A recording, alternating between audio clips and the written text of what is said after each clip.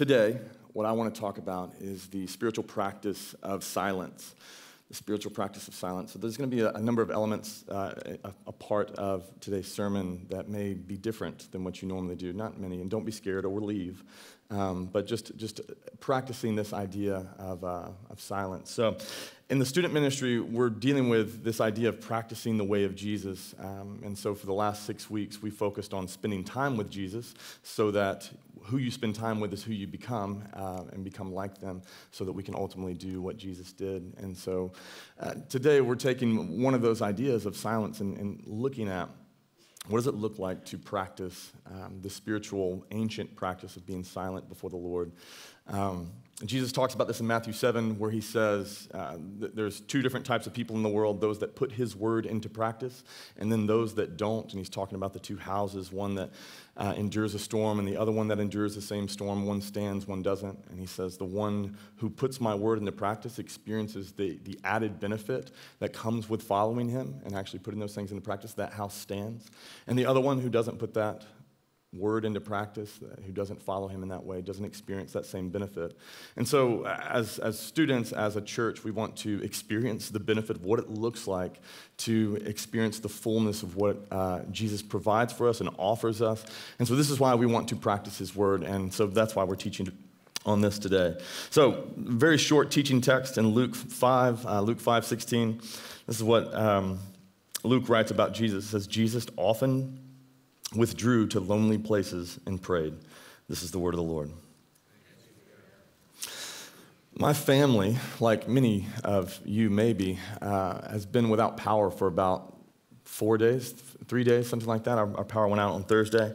And um, at the beginning of it, the absence of power was, is actually kind of fun. Uh, it's like a new thing that we're kind of figuring out together. But the longer we were without power, the more our house became like the time of the judges. And it was like everybody just does what's right in their own eyes. Like, my son wants, you know, fruit. and like, we don't have any fruit, okay? We got, we got Skittles. This is close enough.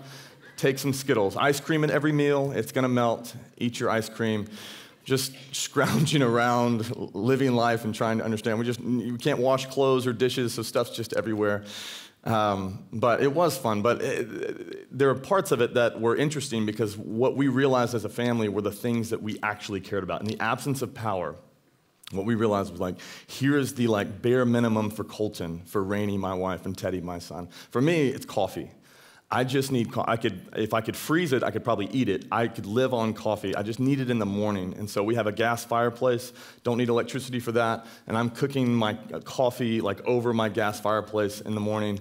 And I did that this morning at like 6 a.m. And it's not as good, but it's necessary. And, um, and so for my wife, it's hot water. She wants a hot bath, a hot shower, something. And so reaching out to friends around the neighborhood and saying, What are you doing? We miss you. Also, can I use your shower? Um, it's always an awkward conversation because we really know what we're trying to get to. Um, but for my son, for Teddy, um, honestly, it's TV and iPad. So as soon as he realized the Wi Fi was out, he's like, deuces, I'm going to uh, go to stay at grandparents' house because they have internet and Wi Fi. And so he bailed and left us on Friday. But, um, anyways, in the absence of power, what was revealed was actually what really matters to us. And I think this is true in many ways. I think there are so many things that we can learn from being in the presence of something, but then there are just alternative things that we learn by the absence of those things. So, for instance, you may be a patient and reasonable person and really believe that that's who you are. But in the absence of food when you're hungry, you become hangry and in that particular scenario, you find out how patient and how reasonable you actually are because there's something that you're missing that you need. In the absence of supervision, our, our kids uh, are normally pretty good under, under supervision.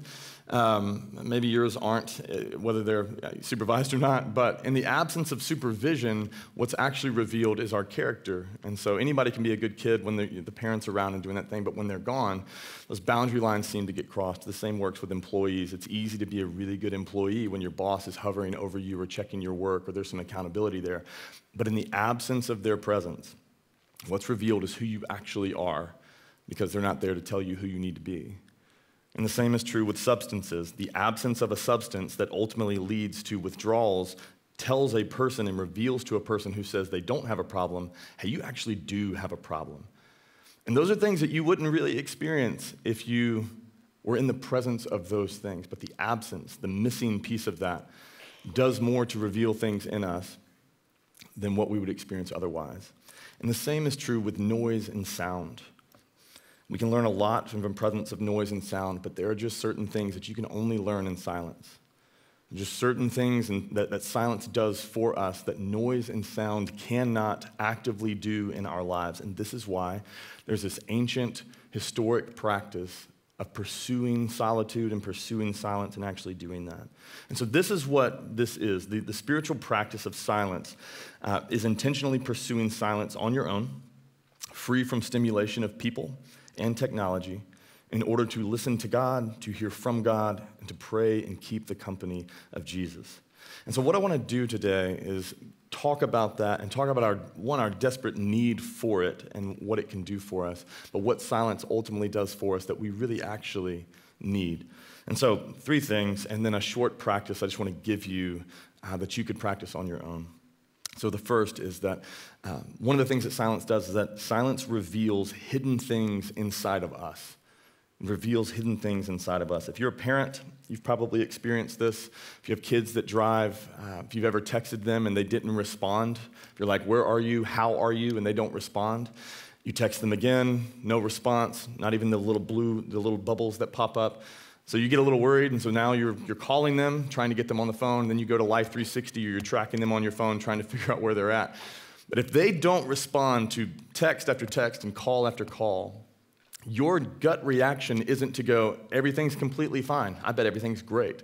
No, your gut reaction is to be like, they're dead and they're in a ditch somewhere. Like, that's the, the normal thing that comes up in the silence. And what the silence is doing is not necessarily creating the fear, it's just releasing the fear. Their non responsiveness, the silence from their end, makes you go like, oh, what has happened? Why are they not responding? And all of a sudden, what's revealed are a bunch of different fears and things that we have. If you've ever been on a first date or maybe you were courting someone or something like that, and um, you share something vulnerable with them about like, like maybe you say through text message like, hey, I think I'm starting to like you, or hey, I think I'm starting to fall in love with you. Uh, if they don't respond right away, if you don't even get the little blue bubbles, or worse, you get the little bubbles that pop up and then they leave and they don't say, they're like, and then it goes away and you're like, oh no. Like what, what, what pops into your mind is not like, they love me too. No. What pops into your mind is like, I scared them away. This was too soon. I did too much. Oh my gosh. Like, should I send like an emoji face or like a JK? Just kidding. Like, what should I do to repair this situation because they clearly think I'm a psychopath? That's what happens in the silence. If they would respond, you would know how they feel. It would reveal their feelings. But in the silence, it reveals all the deep seated insecurities that you have in and of yourself. Again, it doesn't create them, those things are there. But in the silence, those things are revealed. This happens when you know something's wrong with your health and you go to the doctor and the time that you have to wait between the scan and the diagnosis, that, that, that piece of time you're going, I, don't know, I know something's wrong, but I'm not sure what it is, and you're waiting. That silent waiting where there's been no response, and you're, did they call today? No, they didn't call today. Did you get anything today? No, they didn't. What happens in that moment, in, the, in that time, is just all of these fears that come up. What could it be? What's, what's, what's wrong? What's, what could be the thing? And it may be nothing. But what's revealed in that time is all the things that you have. You start thinking about things that you tried to distract yourself from because you're like, I can't think about this stuff. It's the silence that's excruciating, but it's the silence that ultimately actually reveals those things. And so when we think of silence and, and think of it in that way, again, it's not creating those feelings, it's not creating those fears. It's just opening up the lid so that those things can actually surface and this is why we normally try to distract ourselves from those things. And this is also why uh, clinical psychologists would say that um, most anxiety peaks at night. Because it's the first time that all the distractions are gone. There's nothing, nobody texting you, nobody calling you, nothing to look at, nothing to do. And then uh, clinical psychologist, um, what's his name? Uh, Breus, uh, Michael Breus says that it's the first time that you're alone with your thoughts. And there's no distractions, there's no way to shove those things down. And so, in that particular place, all of the thoughts come up and all of those things come into your mind. And so when you think of, of, of, of, silence in that way and that it allows those things to come up, you could, you could really sign up for, well, why should I ever pursue silence? Because when I do, if those things come into my mind, why should I allow silence to bring those things into my mind? Why not just distract them? And the truth is, is because distraction doesn't deal with those things. It just shoves them down. Distraction isn't the same as deliverance from those things. Distraction just makes you not think about them, it doesn't make them go away. Distracting ourselves from those things doesn't actually remove them, it just makes us not think about them. And this is why the scriptures call us to actually practice silence. The idea isn't to distract ourselves from them, but to actually allow them to come up. And as they're coming up into our brains and surfacing in our hearts and in our minds, to just continue the upward angle to the Lord and go, I'm going to cast all of my cares and all of my burdens on you because you care for me. So, the idea that silence allows those things to go forward and to, and to come up and to, to surface in us is actually something that the Lord wants for us. Not so that we're riddled with them, but so that we can be delivered from those things. So that we can actually experience what David talks about when he says, I sought the Lord and he answered me and he delivered me from all of my fears. Not the problems. Problems are still there, but he delivered me from the fears of those problems. And that's what's available to us in silence. That when those things surface, that we can seek the Lord's presence and go, hey, I'm going to give these things to you because they're too heavy for me. I don't like these feelings. I don't like that when I'm silent, that all of a sudden I start worrying about things and I start dealing with my own agenda and, and thinking about deadlines. I don't like to do those things. And yet, that's the point where you're supposed to let them lift up and then ultimately you're giving them to Him your distractions or your, the things that disturb your mind ultimately become prayers and intercession for you. That the Lord actually wants to do work in your life. And that's the beauty of silence. It allows those things to come up so that you can ultimately give them to Him. So, the second thing that silence does silence helps us hear quiet things. This makes sense. Um, Barbara Brown Taylor uh, um, author that my wife introduced me to. Uh, in her book, Learning to Walk in the Dark, shares her experience um, in a cave where she encountered complete silence. And this is what she writes She says, All I could hear was nothing. I listened to the nothing for so long until I could finally hear something that sounded like the hum of a high voltage wire. Since there was no wire for miles around, the sound was obviously coming from inside of me. Years later, I would hear the American composer John Cage describe the same thing. He once isolated himself in a soundproof chamber so he could experience true and complete silence. But instead, he noticed two distinct sounds in the room, one high and one low.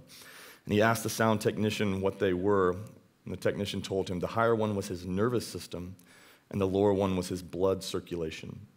And she continues, I had never heard my life before, but that was what it was. It was the sound of my life and the silence. To be so quiet that you can hear your blood circulating in your veins. It's a really strange thing, but it's something that's so quiet that you would never hear unless you were in pure silence. And you would hear your nervous system, and then you would also hear your blood circulating through your veins. It's a very quiet thing, but silence allows for quiet things to be heard. And Richard Foster would say that this is why Jesus pursued silence and would often do this, not just once, but often pursue solitude and silence to spend time with his father because he wanted to hear the still, quiet voice of his father. And he gives a number of examples. Richard Foster writes, he says, Jesus inaugurated his ministry by spending 40 days alone in the desert. Before he chose the 12, he spent the entire night alone in the desert hills. When he received the news of John the Baptist's death, he withdrew from there in a boat to a lonely place apart. After the miraculous feeding of the 5,000, Jesus went up into the hills by himself. Following a long night of work, in the morning, a great while before day, he rose and went out to a lonely place. When the twelve returned from a preaching and healing mission, Jesus instructed them Come away by yourselves to a lonely place. Following the healing of the leper, Jesus withdrew to the wilderness and prayed. And with three disciples, he sought the silence of a lonely mountain at the stage for the transfiguration. And as he prepared for his highest and most holy work on the cross, Jesus sought the solitude and silence of the Garden of Gethsemane to hear the quiet, still voice of his Father because he had a question about is there any other way or is this, is this the cup that I have to drink? And I want to hear the still quiet voice of my Father guiding me forward and giving me the confidence to move forward in that. Jesus wanted to hear the still quiet voice of his Father. And God just chooses to predominantly speak with a still small voice. In 1 Kings 19, where Elijah's standing you know, in the cave and the Lord calls him out in the cave and he hears he, all of these things that are really, really loud windstorms and all the rest of it. And then all of a sudden there's a still whisper of a voice and God speaks. Psalm 19 talks about this idea where the heavens declare the glory of God. Their voice goes out into all the earth, but no, with no sound. No one can hear it, but yet it goes forward fully and is declared from the heavens. God predominantly chooses to speak in a still small voice. When he could, I mean, he could shout everything down and he could be very, very loud. The issue is, is that that's not what he wants. He chooses to speak in a still small voice because he actually wants those who are interested in hearing his voice, he wants them to draw near to him. And if he speaks quietly, the drawing near is so necessary. And this is what he wants. I mean, think about if somebody's whispering to you what you have to do in that moment is you have to shut everything else down. You have to turn, you have to mute TVs if they're whispering. You have to, you know, tell everybody else to be quiet. And sometimes if they're whispering to you, you have to get so close to their mouth that you can hear it in your ear. And that's the idea that God has here. Why would he ever shout to you so that you could hear him from afar when the relationship he wants with you is that close? So close that you'd have to be close enough to hear him whisper. This is what he wants from you. We actually see this in the scriptures. God is constantly wanting to be near us in the garden, uh, in, the, in the tabernacle, and then in the temple. And then you have Jesus, who is God with us, coming to earth to be with us. And you have the Holy Spirit indwelling us, so he's with us always. And then in the end of the age, we're with him in person forever in his presence. He's kind of obsessed with us. He wants to be with us. He has testified to that in the scriptures. He just likes us and wants to be near us. And so when he speaks, he speaks in a still small voice so that when we pursue Him, we have the relationship with Him that He desires, a very, very close one. And so, if you long to hear His voice, which I know many of you do, long to hear His voice, there's a practice of silence, of sitting before the Lord and just asking, Let me, Lord, I want to hear, like Samuel, Lord, I, here I am, I'm your servant. Speak, your servant is listening if you want to hear the still quiet voice of the Father, we have to embrace the practice of silence. Henry Nouwen and Thomas à Kempis uh, basically say the same thing, but Henry Nouwen says this. He says, Without silence and solitude, it is virtually impossible to live a spiritual life. It begins with a time and place for God and for Him alone. And if we really believe not only that God exists, but also that He is actively present in our lives, healing, teaching, and guiding, we need to set aside a time and space to give Him our undivided attention. And then Thomas à Kempis says this In quiet and in silence, the faithful soul makes progress, for the hidden meanings of the scriptures become clear. And as one learns to grow still, one draws closer to the Creator and further from the hurly burly of the world. If you want to hear God speak, you have to pursue silence. Third, silence reminds us of the beauty of the gospel. Silence reminds us of the beauty of the gospel. I want to practice in integrated learning very quickly. It doesn't require a lot of you, uh, a lot from you to do anything. But as we talk through this point, I want us to integrate practicing a posture of sitting still, doing nothing, and not talking um, with the point itself. So if you can just humor me and do me a favor. You don't have to. It's a, it's a get to, not a have to. I'm not forcing you to do this. We don't have deacons around that are going to be checking the room. But do me the favor, just in your chair, Find a comfortable position in your chair. You're already sitting down, you're already doing great. Find a comfortable position. Maybe put everything out of your hands and just set your hands on your lap. They don't have to be up or down. Just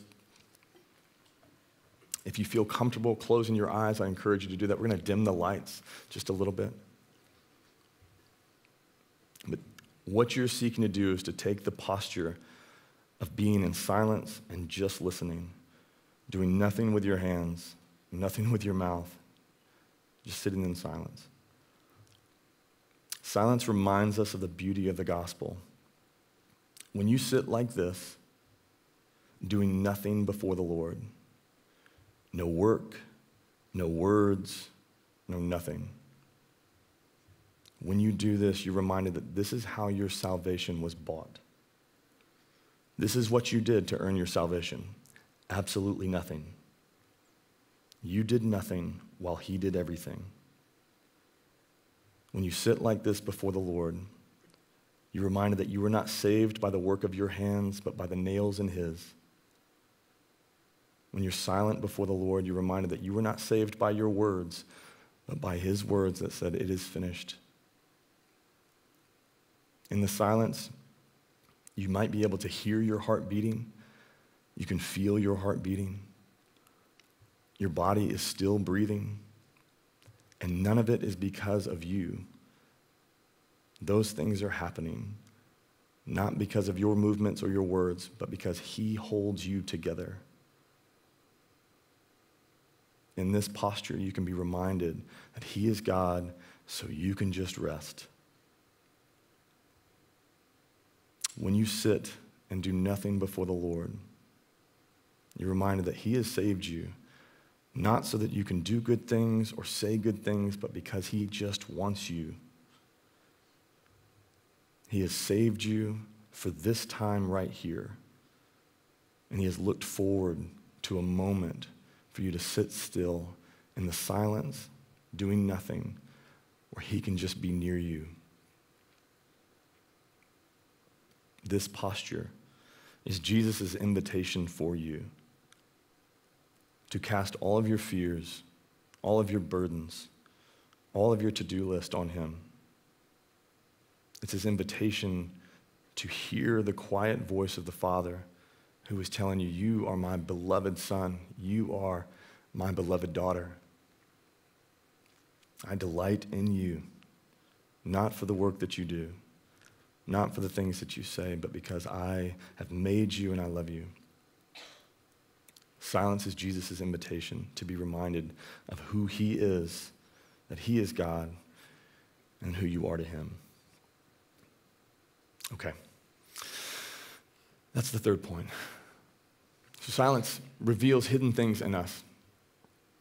Silence helps us hear quiet things. And silence ultimately is just a posture to, to remind us this is the beauty of the gospel.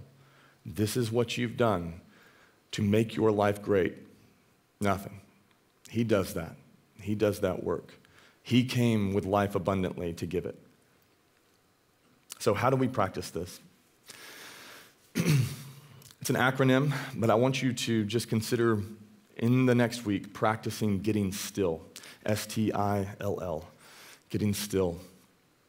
Practice getting still. It'll look different for all of you because you're in different stages of life. If you're a mother with young children and babies, please don't take this as like, do you think I could possibly have time to do that?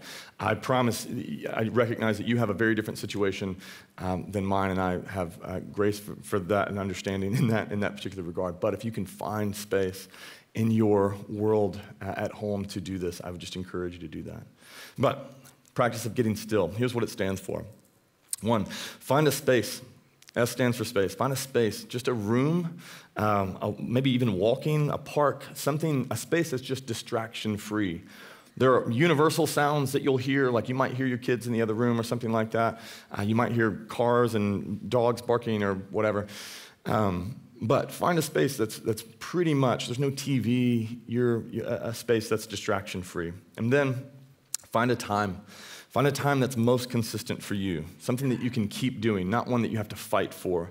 So if there's a space and time that works, and it's like, this is consistently empty and free of distraction, this time works for me. And then find something that's interruption free. So remove music. Don't, don't do this with music on. Don't do this with your phones near you where you can, he- even if you silence it, you can hear the buzz of it or something like that, or even see the light click on or something like that. But interruption free, background noise, nothing like that. And then pick a length. Set a goal that's challenging but doable. And so my encouragement is if you've never done this, try three minutes. Now, try five minutes. If you're feeling bold, try 10 minutes or, or, or beyond, but just to sit in the silence um, don't do like an hour. Don't do something that you actually won't do. And If you're like, I, I want to start running, so I'm going to do a marathon. It's like, well, you're never going to do that, so don't do that. Um, start small and build your way up. Set a length. Um, and then set a timer so you have it. And I don't know how you want to do that, but just somehow you know that you have a timer going that will go off. And then I want you to listen. That's it. You're sitting there seeking silence to listen to the Lord. And listen for three things. Listen to what your mind and your heart are revealing to you. What is being revealed in the silence? What can you not stop thinking about? That is not a distraction to be discouraged by. That is something that the Holy Spirit is looking at and going, Give that one to me. You can't stop thinking about it, so give it to me. So many people, when, when, I, when I talk to them about praying or something like that, like I get so distracted when I go silent to pray. And it's like, those are not distractions, those are your prayers. You should just take those things to Him. Don't be distracted and discouraged by them. Take those things and make them prayers to your Father, who actually really loves that you think about those things all the time because He wants to take them. So listen to what's revealed in you. Listen for God's voice. Ask Him again, like Samuel I am your servant. Speak. I am listening. Listen for God's voice. If a verse comes to your mind, that's God speaking, and go, why is that verse coming to my mind? Process it, chew on it, have it in your mind, say it quietly to yourself. And then listen to the silence and the stillness. Enjoy the beauty of the gospel. Remind, let yourself be reminded that this is what I do to make my life what I want it to do. He does everything and I do nothing. This is how all of my, my greatest battle in the world against sin, I had nothing to do with defeating. He did it all, and I did nothing. And so, for the battles that I'm facing today, this is still my greatest posture and the best way to fight to do nothing and to ask Him to do everything.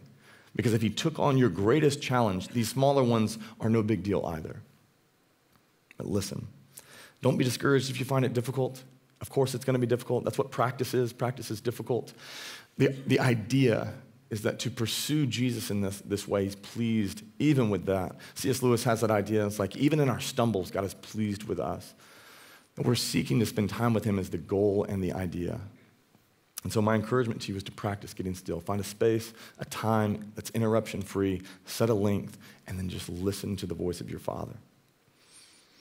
I encourage you to do that. If you're in a community group, um, in the small group time that you have with your group, I actually included this practice in there. I'd love for y'all to do that together. You don't have to separate or be apart from each other. You can just do that together as a group. But I'd love for you to practice this together. My encouragement to you practice silence. This spiritual practice that is very antiquated, but it's current and, and needed um, and necessary for today. It's vital for our spiritual life. When you do it, you'll hear the voice of your Father. You'll learn to do that, to cast your cares on Him, and to be reminded at the end of the day that, like, He cares for you. And this is where He wants you, just to spend time with you because He loves you. So practice silence. Let me pray. Father, what a beautiful invitation uh, for us to do nothing before you so that we can ultimately experience that it is not our work that makes you love us, it is not our words that make you love us. You created us and made us. You've pursued us and saved us. And you just long to spend time with your children the way that we love to spend time with our children. And so, God, I pray that as we move forward in this week, that you would give us a hunger and a desire just for the silence. For it not to be an awkward space, but to be a space where you're able to reveal the things in us that you want to carry because they're far too heavy for us. And so, God, I pray that you would do that, that you would meet us in these spaces, that we would learn to hear the quiet voice of our Father. Would you do that in Jesus' name? Amen.